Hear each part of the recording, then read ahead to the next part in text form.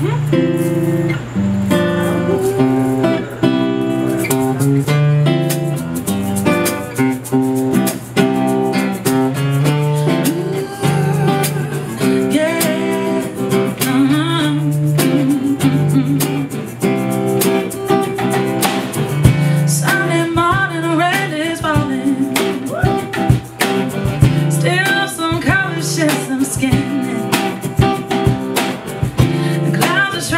in moments unforgettable.